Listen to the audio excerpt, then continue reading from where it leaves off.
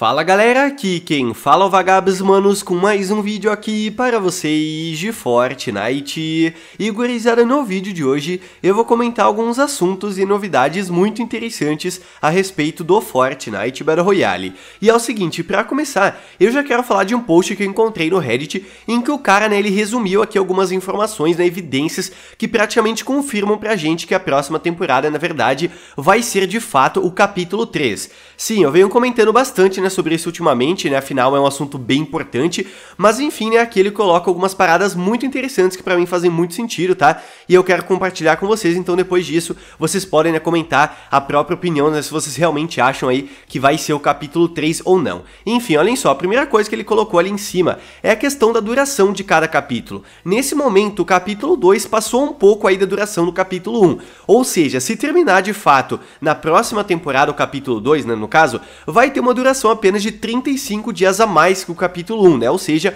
uma duração bem parecida. Outra coisa é a questão daquele informante anônimo. Na temporada 7, aquele informante anônimo, né, que já acertou muitas coisas no passado aí pra gente de antigas temporadas, ele comentou, né, vazamentos que ele também acertou sobre o futuro do jogo, né? Ele tinha falado sobre o lançamento aí, né, de parcerias, né, com a DC, ele falou sobre o Esquadrão Suicida, que de fato aconteceu, ele também, né, falou sobre a Rainha do Cubo, que chegou nessa temporada, só que ele nunca comentou naqueles vazamentos sobre a temporada 9 ou temporada 10 do capítulo 2. Ele sempre tinha falado né, sobre a temporada 8 e o capítulo 3. Ele nunca falou temporada 9 ou temporada 10. Isso é uma parada bem importante também. O terceiro ponto que ele comenta ali é a questão dos cosméticos, né? Que essa temporada muitos itens foram lançados né, com aquela descrição indicando o fim da ilha, né? Destruição da ilha, o fim do capítulo 2. Né? Por exemplo, o conjunto né, da Rainha do Cubo e também aquele emote, né? Page Turner, que é aquele lá né, que você vira a página, né? Que na descrição falava tá quase no final do capítulo, tá ligado? Ou seja, uma referência também, né, bem, bem na cara dura ali pra gente. O quarto ponto que ele fala é a respeito, né, da música do Peck e da Rainha do Cubo, né, que deixa muito claro que ela não tem planos de deixar, né, a realidade viva, tá ligado? Ou seja, ela quer destruir mesmo tudo, né? Então, a Rainha do Cubo não tá no mapa, né, pra fazer uma festinha, pra deixar todo mundo feliz, não, ela quer destruição, né? Tanto é que os cubos estão se movendo pela ilha, já corromperam boa parte do mapa, então o plano dela, vou dizer assim, já tá acontecendo. Outra coisa que ele fala é a respeito então, né, que nessa temporada a Epic Games deu um foco em todos os personagens principais que apareceram durante o capítulo 2. Por exemplo, na revista do Batman, né, essa aqui lançada recentemente, deu um foco, né, no Fundação, que é um personagem muito importante, no Agente Jones também, né, que foi muito importante no capítulo 2. A Doutora Sloane ainda se encontra no mapa, né, ela abriu o bunker, ou seja, né, dá uma ênfase nela também. O Midas, né, apareceu naquela questão do Clube Fortnite, né, com aí as primeiras sombras e claro, né, agora a Rainha do Cubo apareceu, que tem o foco principal nela.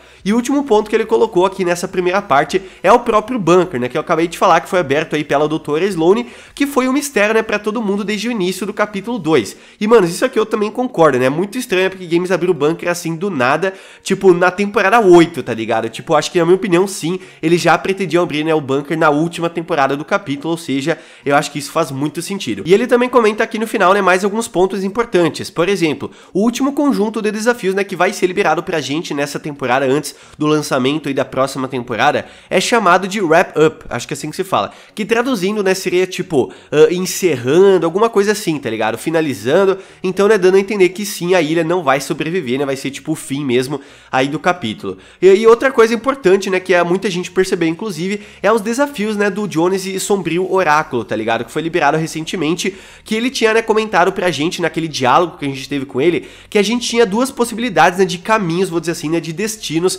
no final da temporada. Uma seria aniquilação total e a outra seria sacrifício e perda. Ou seja, esses dois caminhos, nesses dois destinos, não são coisas boas, tá ligado? Tipo, aniquilação, sacrifício e perda, pelo jeito a gente vai sair perdendo igual, né? Tudo indicando também que vai ser o fim da ilha, alguma coisa assim. E o último ponto que ele separou pra gente é a questão da ilha, tá ligado? Todo mundo percebeu que a ilha já tá um pouco destruída, né, por conta dos cubos se movendo, boa parte né, dos pontos de interesse no mapa já foram destruídos ou abandonados, então de certa forma a ilha não tem mais salvação, tá ligado? Já tá sendo destruída pela Rainha do Cubo, já tá, digamos, sendo deixada de lado. Então, mano, tá aí alguns pontos bem importantes, né, que eu encontrei aqui no Reddit, nesse post aqui, que eu queria compartilhar com vocês. O meu ponto de vista é que sim, mano, tudo tá indicando que a próxima temporada vai ser já o próximo capítulo, tá? Então, né, comenta aí sua conclusão também a respeito desse post, se você acha que isso faz sentido ou não, ou se a Epic Games vai dar um drible em todo mundo, tá ligado? Vai chegar a próxima temporada, vai ser a temporada 9 mesmo, e enfim, né, fica à vontade para comentar a sua opinião aí. A Epic Games realmente né, pode ser troll aí com todo mundo, afinal, eles já fizeram isso no passado. E rapaziada, outro assunto que eu separei aqui é sobre itens gratuitos que vão ser liberados aqui nesse mês para quem acompanhar o evento do FNCS Grand Royale, inclusive também de uma skin gratuita para os melhores colocados de um torneio que vai acontecer, beleza? Enfim, olhem só o que a Epic Games colocou aqui. Já vou pular direto, né, para programação, que é o que interessa aí o pessoal.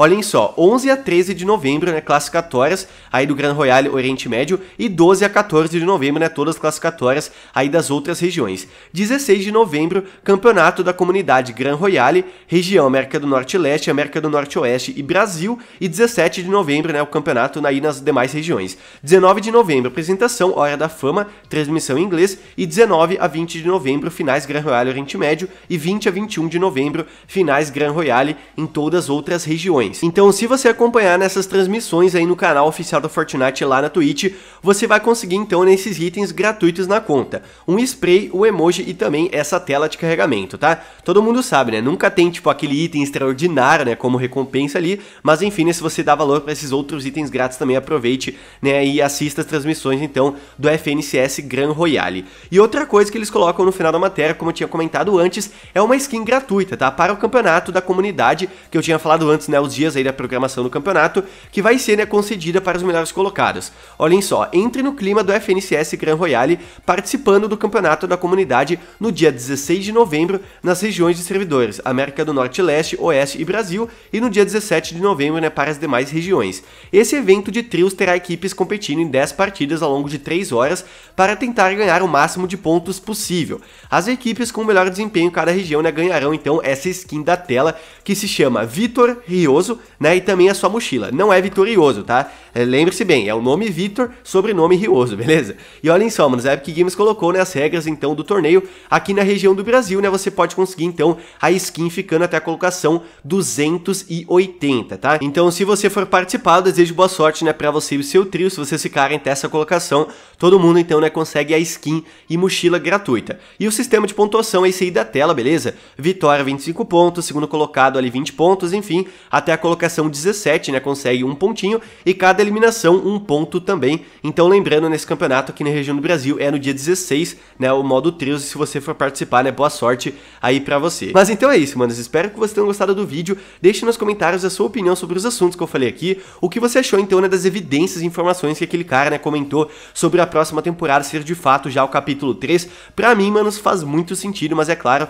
eu quero saber o que vocês acham disso também. E se você gostou do vídeo, manos, deixa o likezão aí, porque não custa nada e me ajuda muito, e também mande, né, pros seus amigos se você conhece alguém né, que adora assistir o FNCS e tudo mais, vai ter o FNCS Grand Royale nesse mês. E se você acompanhar, né, você consegue três itens gratuitos e também vai ter o campeonato da comunidade na metade do mês. Se você né, conhece aí dois amigos, né, você é o famoso trio aí que joga super bem, vocês podem participar e todo mundo pode conseguir então, quem sabe, uma skin e mochila de graça na conta. Então é isso, manos, aquele abraço, se vemos no próximo vídeo. Valeu, falou, e eu fui!